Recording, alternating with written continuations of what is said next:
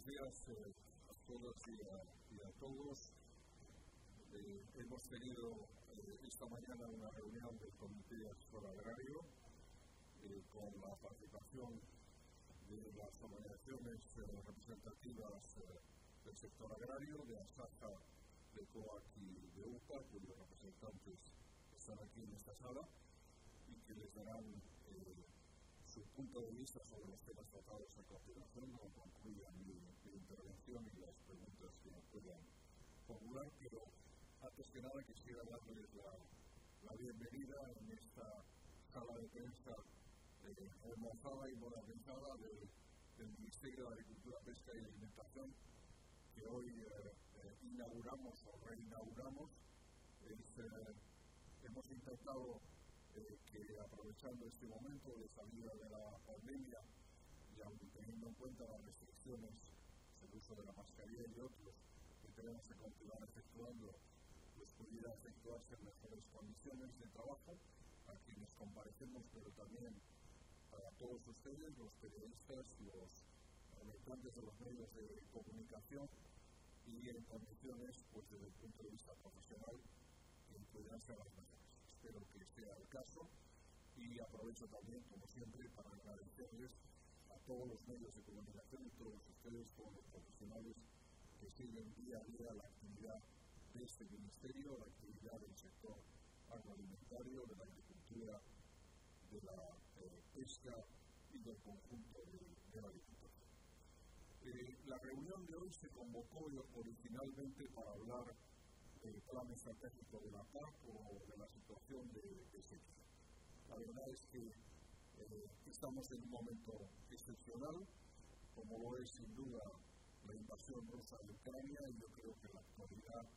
marca necesariamente los temas de discusión y las medidas eh, que tenemos que tomar. Ante una situación excepcional, hace falta adoptar medidas excepcionales. Y en ello tenemos que estar a la altura. Ayer el presidente del gobierno lo indicaba en su comparecencia en el Congreso de los Diputados. Esta es una situación que sin duda va a durar con independencia del conflicto bélico, va a, durar en sus efectos y tenemos, pues lógicamente, que expresar en primer lugar nuestra solidaridad con el pueblo de Ucrania, con la situación que, que está viviendo. Ayer en la reunión que tuvimos de ministros de Agricultura de la Unión Europea, nos planteábamos como primera prioridad, junto a los colegas del grupo de exteriores y el abastecimiento alimentario de Ucrania, y efectivamente yo creo que ese es un deber de solidaridad ante esta situación que evidentemente no ha provocado Ucrania y que es lamentable, una lamentable violación del derecho internacional y de los principios y valores presentes por parte Decía, por tanto, que este es un momento excepcional. Ayer tuvimos una reunión de los ministros de Agricultura donde evocamos buena parte de los temas que hoy mismo hemos comentado en este Consejo Asesor. Es evidente que el orden de las prioridades ha cambiado y en este momento a nivel internacional la primera prioridad es asegurar la producción y el abastecimiento alimentaria. Eh, asegurarla porque, como ustedes saben, tanto Rusia como Ucrania son eh, dos de los grandes productores de cereales y de oleaginosas del mundo y, por tanto, eh, este, esta situación, esta guerra, tiene consecuencias directas e indirectas sobre el conjunto de la Unión Europea y de sus países miembros como España y también de, del mundo. Algún dato. Eh, Ucrania, por ejemplo, suministra a la Unión Europea el 57% del maíz, el 42% de la colza, el 15% del girasol, el 47% de la torta de girasol o el 30% del, del trigo. Y en cuanto a Rusia, ustedes lo saben bien, 18% del conjunto de la energía de la UE y un 30% del conjunto de los fertilizantes. En el caso concreto de España, nuestra exposición respecto de la guerra lo es básicamente respecto de Ucrania y en relación con eh, las importaciones de maíz, que son un 22%, 2,7 millones de toneladas, es exactamente la cifra de la última campaña a este respecto. También en torta de, de girasol, que es el 68% de nuestro suministro, 233.000 toneladas, y también el aceite de girasol, medio millón de toneladas, aunque es evidente que en esta materia eh, la exposición es menor, porque evidentemente tenemos nuestro aceite de oliva, que es un producto con el cual compite directamente y lo puede sustituir, incluso yo me atrevería a decir en mejores, mejores condiciones. De esta situación deriva de que nuestra previsión, teniendo en cuenta que la actividad comercial está paralizada, las infraestructuras de, Ucrania muy dañadas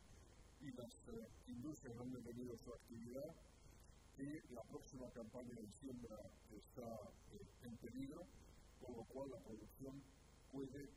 descender de forma drástica. Si tenemos en cuenta que a ello se une el precio de la energía y el de los fertilizantes en relación con Rusia, yo creo que nos eh, enfrentamos a un escenario prolongado de elevados precios de los inputs para la producción agraria. Y lo digo sinceramente como un reconocimiento realista. Ustedes me conocen, me gusta decir las cosas como son, y efectivamente son así, y por tanto tenemos que estar preparados para este escenario, del cual se derivan consecuencias evidentemente en relación con los precios que ustedes conocen. De acuerdo con la información disponible a fecha de hoy, nuestras existencias en materia de, de maíz, concretamente se concentran en el puerto de Tarragona, que es donde básicamente se efectúan las importaciones, son de aproximadamente 45 días, con lo cual eh, nuestra preocupación, la preocupación este ministro es la de asegurar el aprovisionamiento más allá de la subida de precios, evidentemente, y de la disposición de las cantidades suficientes para nuestra alimentación animal. Los temas que estoy escribiendo son temas que afectan a, a España, porque es evidentemente el ministro que les habla, el ministro del Gobierno de España, pero que por su naturaleza son evidentemente tanto a los precios como a los volúmenes de naturaleza internacional. Razón por la cual los estamos tratando a ese nivel y eh, en la reunión de ayer le planteamos a la Comisión Europea varias medidas. Yo concretamente propuse de una forma muy concreta cuatro medidas que son las que al final el propio comisario recogió como elementos de trabajo, también previamente, lógicamente, conversadas con la presidencia francesa. El primero, que se facilite todo el, el mayor acceso posible a materias primas de todos los orígenes. Estoy pensando, evidentemente, en la, las materias para, primas para la producción de piensos en la Unión Europea, flexibilizando, si fuera necesario, la aplicación de requisitos fitosanitarios. Nos estamos refiriendo en concreto, por ejemplo, algunas compras sustitutivas de maíz podrían tener por origen de Argentina, pero existen restricciones con la utilización de residuos con los límites máximos de residuos de determinados productos fitosanitarios. El que de forma excepcional y temporal pudiéramos eh, exceptuarlos, yo creo que sería eh, positivo y se lo hemos pedido a la Comisión Europea. De igual modo, los requisitos relativos a OGMs, en este caso maíz y soja de Estados Unidos, todo ello bajo el control de la Agencia de Seguridad Alimentaria de la Unión Europea. La segunda medida que debía llegar a la Comisión Europea y que se comprometió a estudiar es la flexibilización de las medidas vinculadas a la PAC para la campaña venidera para disponer de una mayor eh, superficie para la siembra, sobre todo de maíz. Me refiero a la, en materia de condicionalidad sobre la diversificación de cultivos y a la superficie que de forma obligatoria tiene que dedicarse a fines de interés ecológico, lo que se denomina técnicamente superficies de interés ecológico. Reitero aquí lo que indicaba al principio, la prioridad es una prioridad de disponer de producción y por tanto cualquier elemento que pueda contribuir a ello es positivo. En tercer lugar, movilizar el denominado mecanismo de respuesta ante la crisis de seguridad alimentaria. Como ustedes saben, a raíz precisamente de la crisis derivada del COVID-19, decidimos, igual que existe en el campo energético, de la seguridad o diplomático, un mecanismo de respuesta por parte del sector agroalimentario a nivel de Unión Europea. Hemos pedido y tiene lugar el próximo día 9 la primera reunión este, el grupo de expertos de este mecanismo de, respuesta de cara a articular respuestas a nivel europeo en torno a, a la situación. Y finalmente, que se movilicen otros foros, como FAO, como AMIS, como G20, en relación con eh, la situación alimentaria para que los flujos comerciales internacionales no se interrumpan y con ello podamos seguir contando con los suministros que necesitamos. Este es un elemento fundamental porque, por ejemplo, eh, el incremento del precio de los cereales y la disponibilidad de los volúmenes suficientes afecta muy sensiblemente a países que conocemos bien y con los cuales mantenemos una relación estrecha, incluso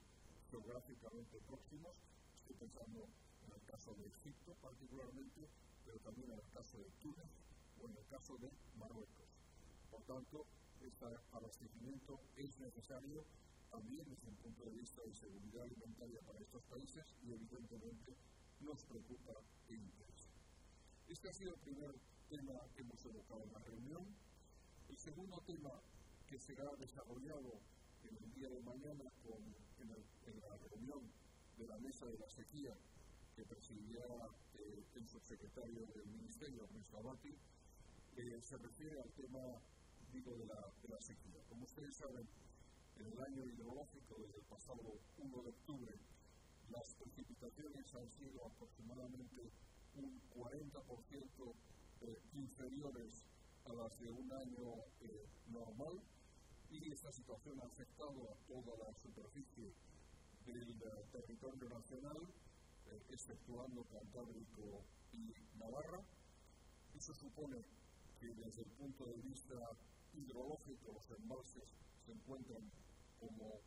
en media general al 40,6% de capacidad, 10 puntos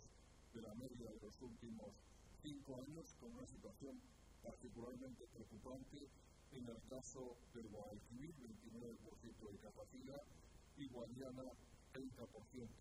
de capacidad. Estamos eh, muy eh, siguiendo muy de cerca estas eh, borrascas y las lluvias de primavera que esperemos se produzcan, pero esto no quita el que de forma estructural estemos afrontando una situación que me ha llamado a, a convocar en el día de mañana esta mesa de la sequía en la que participarán las comunidades autónomas y las organizaciones profesionales eh, agrarias. Y evidentemente nuestro objetivo es al respecto tratar todo lo referente también a la ganadería extensiva, a los cultivos herbáceos de, de secano y a las zonas regables, en particular del Guadiana y del eh, Guadalquivir. Tenemos instrumentos como son el seguro agrario, también la propia PAC, pero eh, en el Consejo de Ministros de la semana pasada, en el Consejo celebrado en Bruselas, solicité tres medidas concretas a la Comisión Europea que está estudiando y que espero que dentro del contexto de las reuniones que tendrán lugar en los próximos días se puedan aclarar y responder positivamente, que son, en primer lugar, el incremento de los anticipos de la PAC a partir del 15 de octubre para mejorar liquidez, en segundo lugar, la flexibilización de los requisitos de convencionalidad y de pago verde para aumentar la disponibilidad de las superficies pastables, y en tercer lugar, la posibilidad de un mecanismo excepcional de la utilización de los fondos del FEADER no empleados, como se hizo en el caso del COVID-19, como ayudas específicas hasta un límite en el caso de un, de un 2%. Esto en lo que se refiere a la Unión Europea, aparte de ello, la reunión de mañana también en este diálogo presentaremos por parte del Ministerio por parte del Gobierno otras medidas en materia de liquidez y en materia de fiscalidad sobre las cuales hemos venido trabajando y que esperamos poder culminar en los próximos días. Por tanto, el calendario eh, al respecto que tenemos eh, y que les anuncio es la reunión de la mesa de la sequía eh, en el día de mañana, también una importante reunión de cara al futuro sistema de los seguros agrarios en España, la Comisión General de Mesa, que se reunirá el próximo jueves, el jueves de la semana próxima, para abordar un tema que me preocupa mucho y al cual creo que vamos a estar en condiciones de formular una propuesta que pueda dar garantía al conjunto de nuestros seguros agrarios en un contexto de cambio climático y de incremento de los eh, fenómenos eh, que dan lugar a indemnizaciones de fenómenos climáticos. Como ustedes saben, al final del año, eh, del año 2021 nos hemos situado en 723 millones de euros de indemnizaciones, una cantidad récord, solo comparable y es superior a la de los años 17 y 18, y por tanto tenemos que dar una respuesta a esta situación. También desde el punto de vista europeo, el lunes que viene de forma extraordinaria se reúne el Comité Especial de Agricultura como consecuencia de la reunión ayer de los ministros de Agricultura. Lógicamente tendrá la reunión ordinaria el lunes siguiente, día 14, para poder eh, preparar eh, la reunión que tenemos ministerial de los días 21 y 22 en Bruselas, y este es el calendario, como les digo, del trabajo de los próximos días. Y una última comentario que quisiera hacer en relación también ha sido objeto de análisis y de consideración. En la reunión mantenida hace un momento con las organizaciones profesionales agrarias, se refiere a la ley de la cadena, es el instrumento sin duda más importante que tenemos también para dar respuesta, para equilibrar el que todos estos incrementos de coste se puedan repartir de forma transparente y equilibrada, digo, a lo largo de la cadena. Eh, sin ley de la cadena, evidentemente, como siempre, la imputación de los costes habría ido al eslabón más débil de la cadena agroalimentaria, nuestros productores primarios, pero evidentemente tenemos ahí nuestra industria agroalimentaria, nuestra distribución, y es necesario, sin perjuicio de las medidas que haya que adoptar y del resultado final en, en materia de precios al consumo, evidentemente un reparto equitativo. Nos parece, y lo hemos comentado en la reunión, absolutamente prioritario de todos los elementos de puesta en vigor de la ley, lo que se refiere a la existencia de contratos por escrito en toda transacción superior a los 1.000 euros. Hay evidentemente muchos más requisitos en la ley. El hecho de que los costes de producción deben ser inferiores al precio de venta, sin duda, y esto debe ser parte también de las transacciones. La puesta en marcha que vamos a efectuar en este año del registro electrónico de los contratos, que es un elemento de verificación muy importante, y otros aspectos en materia de información de inspección con las comunidades autónomas en el que venimos trabajando. Por tanto, implementación de la ley es también un buen instrumento para dar respuesta a esta situación. Estos han sido básicamente y resumidamente los temas tratados esta mañana y estoy a su disposición para responder a las preguntas pueden efectuar a este respecto.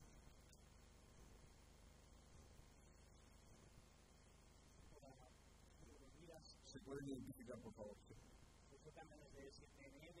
felicitarle a usted ejecutivo por lo bonita que ha quedado la sala de prensa, que, lo, lo, es, y preguntarle, usted, pasados meses, porque la verdad que las rupturas dentro del gobierno se ven en cada situación, en cada crisis que se propone, usted fue protagonista de aquella ruptura con el ministro Galzón en el tema de la carne, ¿qué le parece ahora esa ruptura en cuanto a la posición con respecto a la ayuda que hay que dar a Ucrania por parte del gobierno? Usted nos habla de esa crisis de abastecimiento que hay que subsanar, pero con la cuestión de las armas, la que parece que una parte del gobierno pues está defendiendo el no a las armas y ayer el presidente del gobierno defendía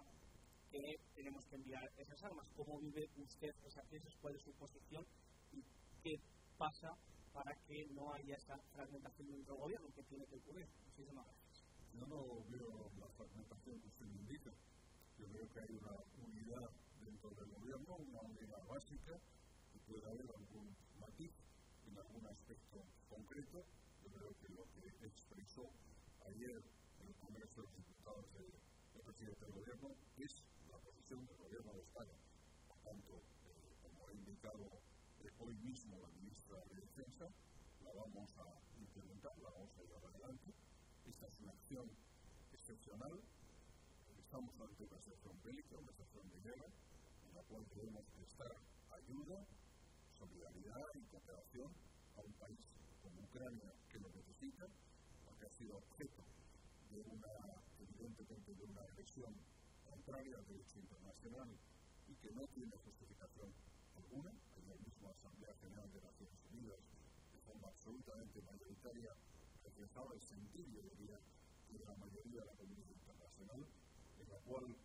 la Unión Europea y la OTAN, de las cuales España forma parte, han manifestado una postura muy clara y debemos llevar adelante esa postura. Eso es lo que indicó el presidente del gobierno. Yo creo que al respecto no hay ninguna duda. Lo mismo que indicaba hace un momento, nos preocupa también situación alimentaria de la población Ucrania y por eso, dentro del ámbito de mis competencias, los ministros de la Agricultura ayer discutimos, también de la alimentación, discutimos en nuestra reunión cómo, con los ministros de la acción exterior de la Unión Europea facilitar esa ayuda alimentaria a Ucrania. Sí, hola, soy Pedro Pablo González, de Onda Cero. Dos explicaciones o apreciaciones se me puede dar. Eh, usted convoca, ha, indicado que el primer objetivo prioritario es asegurar la producción y el abastecimiento uh, alimentario. Quería saber si hay, como ya ha detectado el Ministerio, hay algunas producciones o algún abastecimiento, algún producto que pueda estarse en riesgo y que habría que fortalecer. Y segundo, en la ley de, en la alimentaria, quería saber si como sucede también en el Ministerio de Transportes con el acuerdo de los transportistas por el tema del gasolio, del gasolio cuando subió el precio, en esta cadena, a pesar de que hubiese un contrato, por ejemplo, en ganadería, teniendo en cuenta que cada día pues están subiendo más eh, los inputs que tienen para poder alimentar el alimento, se podría modificar el momento de la, de la compra de, de los animales a la, a la distribución, aumentar los precios, sucede con los transportistas. Es decir, claro, pensar en que es un contrato, si sube más el coste durante el plazo de ese contrato, al final comienza la producción, se pudiese los ganaderos y agricultores recibir el dinero del coste real. Eh, muchas gracias. Pues dos preguntas. La primera, eh, evidentemente lo he dicho y lo he subrayado, la producción alimentaria y la disponibilidad de alimentos es un objetivo ayer mismo, yo mismo como ministro y conjunto del ministro de la Unión Europea, señalamos como básico. Por tanto, no es que exista en estos momentos a corto plazo ningún riesgo de desabastecimiento, pero sí que es verdad que, particularmente en relación con los piensos eh, y con la alimentación del sector ganadero y en relación con la disponibilidad de fertilizantes, la situación creada en materia de precios en los mercados internacionales nos puede llevar en algún caso a disponibilidad de cantidades inferiores. De ahí, justamente, esas uh, medidas que hemos solicitado a la Comisión Europea, particularmente la referida a la utilización de superficies no productivas para poder llevar a cabo de forma excepcional una producción que evite que se creen agujeros dentro de la disponibilidad del mercado, o la referida, por ejemplo, a la posible compra alternativa de, de maíz procedentes de otros países con requerimientos técnicos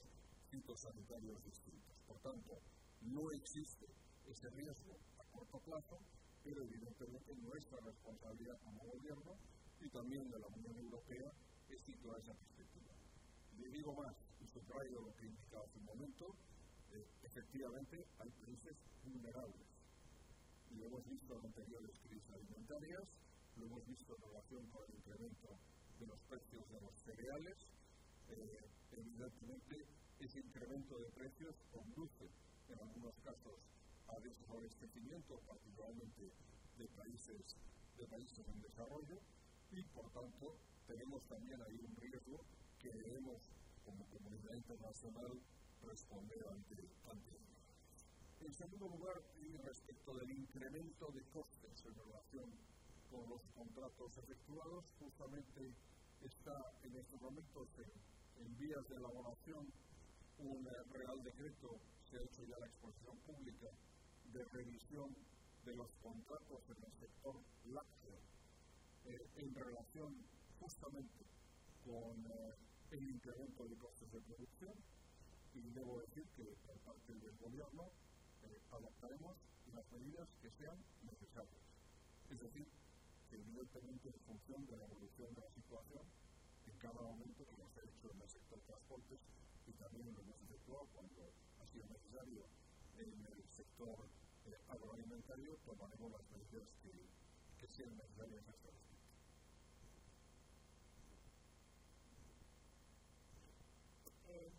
Mercedes García de Canal Sur Televisión y le quería preguntar, bueno, le quería pedir al ministro cuál sería el mensaje que podría trasladar a los ciudadanos que en un momento determinado pueden estar preocupados por, por si hay eh, puede haber desabastecimiento de algunos productos y también a los propios agricultores que están viendo cómo eh, su, sus productos van a aumentar de precio. Eso por un lado. Y luego, por otro, eh, ¿cuándo podrían entrar en vigor las medidas que está pidiendo tanto la Unión Europea eh, para que se vayan controlando estos precios y no se refleje ese coste en, la cesta de la compra o en los, eh, en los trabajos de los agricultores y ganaderos? Sí, eh, me decía usted qué mensaje puedo dirigir a, a, los ciudadanos, un mensaje de, de tranquilidad y de, y de, serenidad. Evidentemente no, por, desgracia, hace muchos años, muchos, ¿verdad? No, probablemente nuestra generación no lo conoce, que no se ha producido una guerra en, Europa, y menos una guerra de estas características, pero es evidente que desde el punto de vista estamos hablando de abastecimiento alimentario, mi mensaje está muy claro, es de tranquilidad y de seguridad. No existen riesgos de subrayo a corto plazo y por tanto debemos tenerlo muy presente. Y en segundo lugar, a los agricultores y a los ganaderos, que estamos trabajando todos de la mano, de forma unida, lo acabamos de hacer en esta reunión con todas las organizaciones profesionales agrarias, produciendo evidentemente al mundo de las cooperativas, a la industria y a la distribución, para asegurar que sus intereses, los intereses de los agricultores y ganaderos, sean preservados. Lo decía antes, precisamente en eso es la diferencia, esa es la diferencia de tener una ley de cadena alimentaria y de no tenerla. De que en estos momentos podemos plantearnos efectivamente cuál es la carga y el reparto de la carga que corresponde a cada uno. Si no fuera así, le puedo asegurar que en crisis anteriores lo ha ocurrido siempre, han sido los agricultores ganaderos como es la bomba de quienes han pagado ese precio. Y desde luego como gobierno y como ministro no estoy dispuesto a ello. Y en relación con las medidas que vayan a adoptarse, son medidas que evidentemente que tienen que ser en el plazo más breve posible. Ayer, aparte de las peticiones que efectuamos, había un claro sentido de urgencia en la adopción de las mismas les he detallado el cronograma en los próximos 10 días, es precisamente para mostrarles hasta estamos movilizados en la búsqueda de esas respuestas, que tienen que entrar en vigor, eh, evidentemente lo antes posible, porque disponemos de un cierto margen, como antes indicaba, desde el punto de vista de la oportunidad y del tiempo, pero eh, urge la adopción de esas.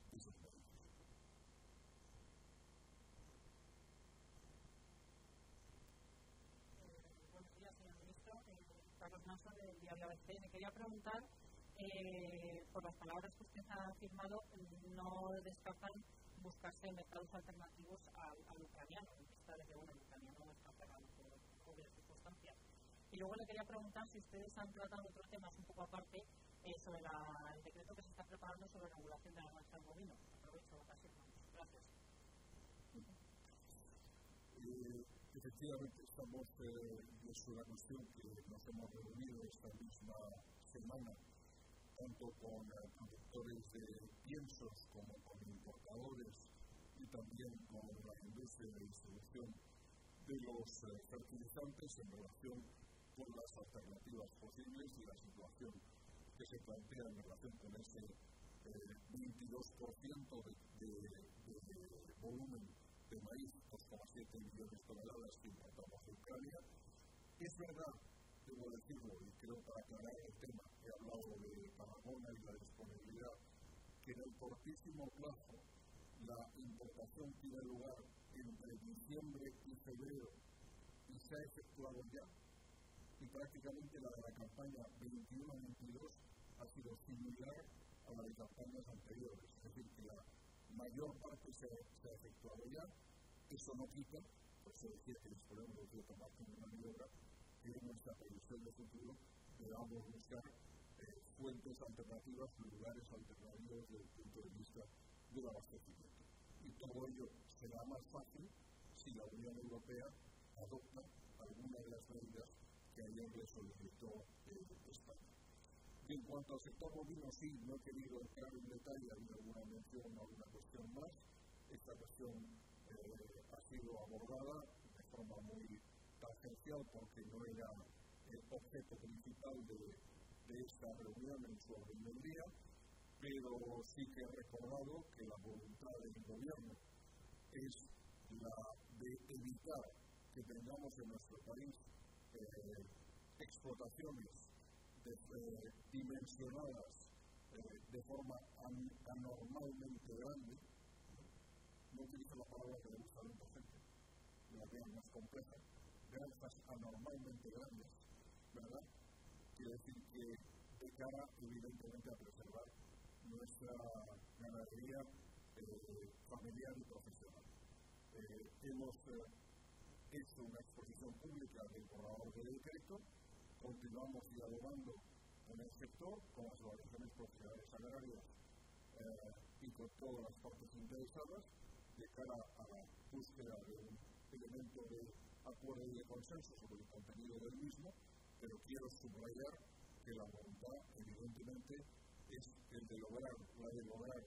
explotaciones que sean desde el punto de vista de la agricultura familiar y profesional competitivas y rentables yo creo que esa es una cuestión fundamental. Nos enfrentamos a una situación donde cada día desaparecen, por ejemplo, en la cuna de leche, explotaciones que no tienen capacidad competitiva. Por otro lado, nos encontramos con explotaciones anormalmente grandes y yo creo que la posición del Ministerio y del Gobierno es bien clara. Tenemos que lograr explotaciones que sean viables y rentables, que produzcan, por tanto, la leche que necesitamos, hablando particularmente del caso del vacuno de leche, y que al mismo tiempo pues, puedan eh, facilitar eh, no solo producción, sino eh, red territorial y, y, social en nuestros territorios locales. En todo caso, en todo caso quiero subrayar que ha habido algún malentendido, alguna información de prensa que he leído en estos últimos días, las nuevas normas solo tendrán lógicamente el vigor a partir del momento en que se ha publicado el decreto, parece evidente, pero quiero subrayar el decreto correspondiente a la del Estado, aprobado por el Consejo de Ministros y publicado en el Sí, buenas tardes, y Presidente que hable sobre este asunto de la ordenación del ganado bovino. Hace unos días, por de que unos cálculos y calculaba que esa norma de relación de bovino sería a unos 100.000 ganaderos. Pedía modificaciones al Ministerio de Agricultura. No sé si la reunión se ha impuesto, si se, si sopesa. Y, luego el otro tema que venía en el orden del día, pero la verdad que está caído, no sé si tratado o no, que es el plan estratégico de la eh, sobre sí se ha abordado y si hubiera alguna palabra, no, no es que no haya querido mencionarlos en mi producción inicial, pero he mencionado los que tenían mayor interés informativo, la mención a y la mención también eh, en relación con el sector de bovino no voy a, a, a replicar a un comunicado de prensa ni una nota de prensa, hace un momento he hecho ya una reflexión bien clara sobre cuál es la voluntad del gobierno, cuál es el mecanismo de entrada en vigor, evidentemente yo creo que no es exacto pues coger el volumen general de la producción láctea de, España y, eh, que si no me equivoco, está en 7 millones de toneladas anuales, dividirla entre el número de explotaciones y a partir de ahí coger la propuesta del Ministerio y decir que eh, 80.000 explotaciones quedarían fuera. Primero, solo tienen eh, efectos en el momento de entrar en vigor y en segundo lugar, yo creo que ese no es el mecanismo correcto ni de intención absolutamente de Yo creo que ha sido, espero que sea un malentendido y eh, contribuiremos, como siempre, de forma constructiva a deshacer ese malentendido. Parte del Ministerio, la voluntad que existan explotaciones eh, familiares y profesionales que sean competitivas y que sean rentables y punto de Y en relación con la PAC, eh, lo que ha sido un punto de información, realmente no hemos entrado en profundidad, lo que he informado a las organizaciones agrarias es que mm, la Comisión Europea está ultimando eh, la carta que nos tiene que enviar en el primer trimestre de este año,